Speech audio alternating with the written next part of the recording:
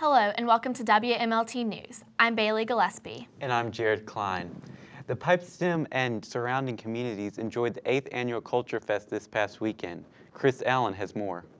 People across the nation came to West Virginia to Culture Fest for the weekend, which started September 8th and went till September 11th to celebrate its eighth season of diversity and live music.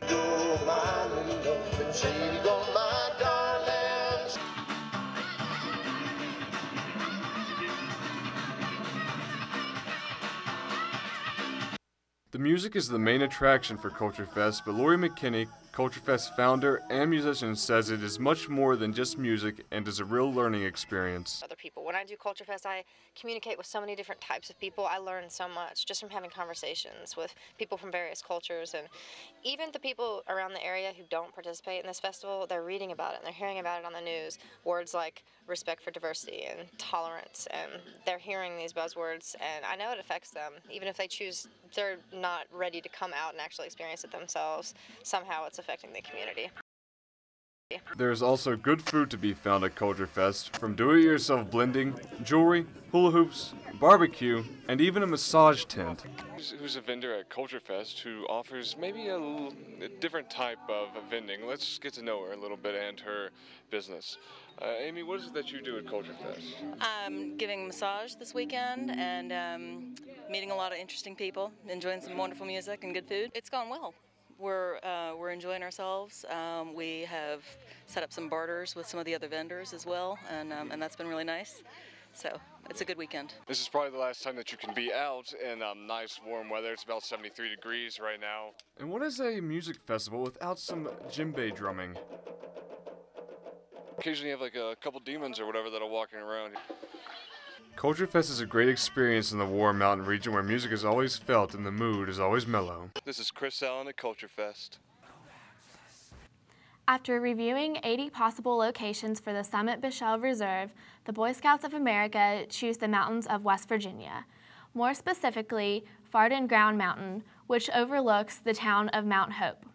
The BSA announced that the summit would be a year-round adventure camp for whitewater rafting, mountain climbing, and water and winter camping. The camp will, camp will also become the permanent home for the National Scout Jamboree. During the time of the Jamboree, this camp will become West Virginia's second largest city, expecting about 40,000 scouts and 8,000 to 9,000 volunteers. The summit is already having an impact on the surrounding areas that are expecting to see some growth from the incoming campers and their families. First responders and survivors of one of the nation's deadliest tornadoes gathered together Sunday, September 11th to add the last stitches into the national 9-11 flag. The flag is made up of fragments of U.S. flags that have been salvaged from the tornado that hit May 22nd.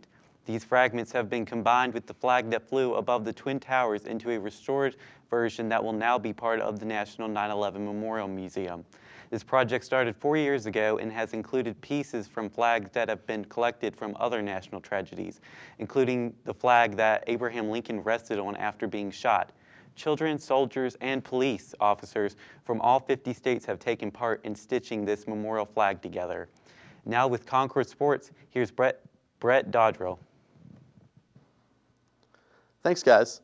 Concord University's 2011 football campaign is off to a rough start, having dropped their first two games of the season, the most recent of which coming at the hands of Elon University out of the Southland Conference.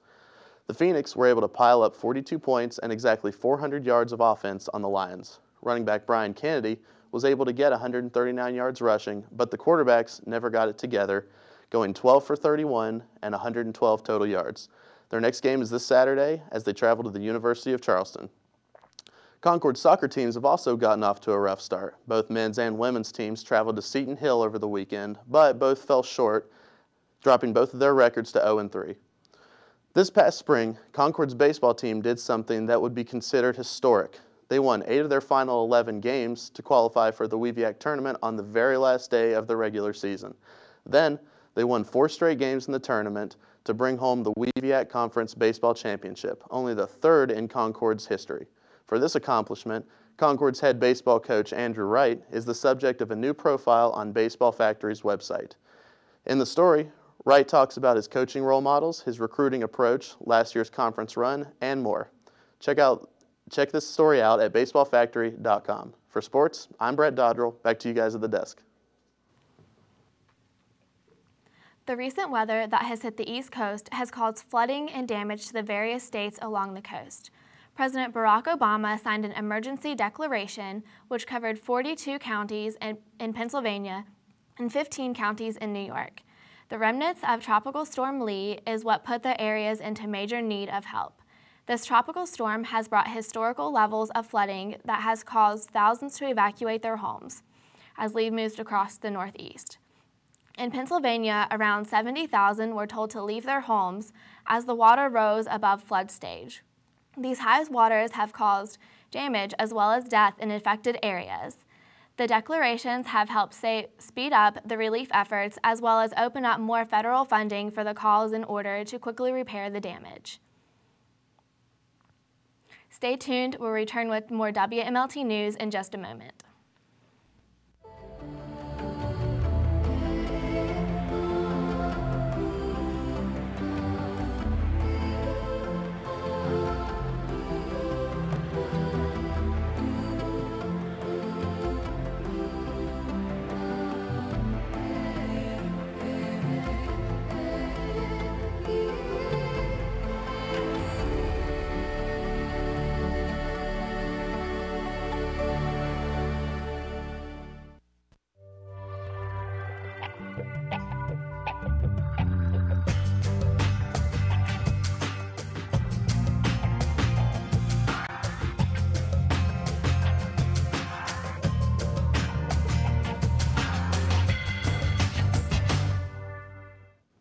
Welcome back to WMLT News.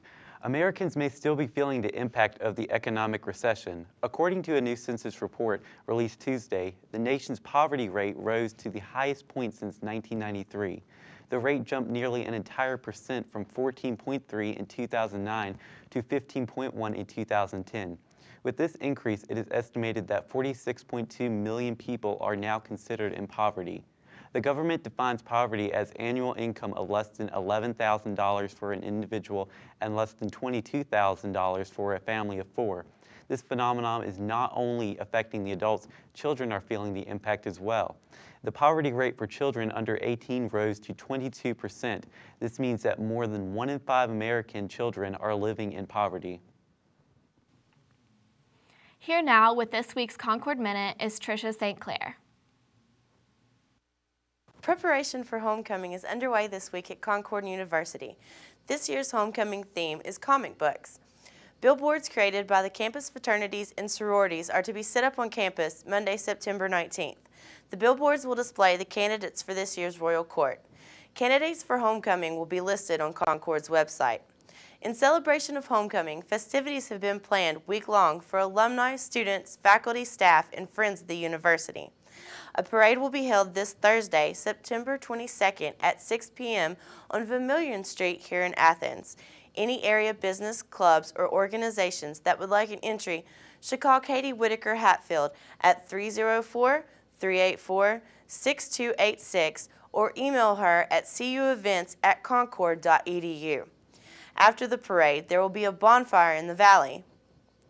There will be a lip sync contest Friday, September 23rd at 8 p.m. in the main gym of the Carter Center, just one of the many contests that are going on homecoming week. Saturday, the big game kicks off at 2 p.m. where the Mountain Lions face off against the West Virginia State University Yellow Jackets, and be sure not to miss halftime when we see who gets crowned for Royal Court. Will it be Aquaman and Cyclone or Superman and Wonder Woman? Be there to find out. Back to you at the desk. As the special election campaign for West Virginia governor heats up, the most recent public policy poll shows Republican Bill Maloney closing in on acting Governor Earl Ray Tomblin. In May, the same poll showed that Tomblin with a 15% lead. Now Maloney trails behind Tomblin by only a 6% margin. There has been negative national sentiment towards career politicians, and Bill Maloney is exploiting that fact with Earl Ray Tomblin, which can attribute to his recent rise in popularity. No matter who you support, it will continue to be a heated yet interesting campaign. Early voting starts on September 21st, and general election day is October 4th. Trap Hill Middle School steps confidently into the 21st century this Wednesday.